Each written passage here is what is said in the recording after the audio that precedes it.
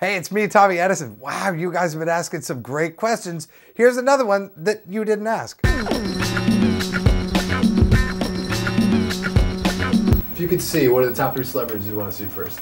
If I could see who are the top three celebrities I'd like to see, all right, you know what? I'll tell you. Three. I think I'd like to see Tom Waits, singer Tom Waits. I mean, I love his voice. I've been a fan for years, and I just couldn't imagine what that guy looks like.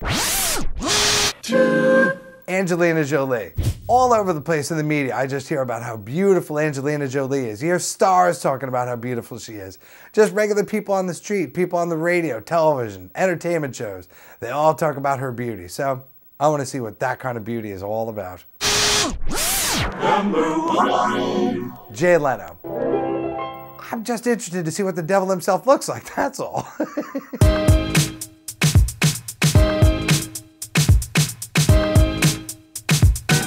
Had a fourth pick, I think Susan from Sesame Street. A Muppet. Any of Jim Henson's Muppets. Or a Smurf.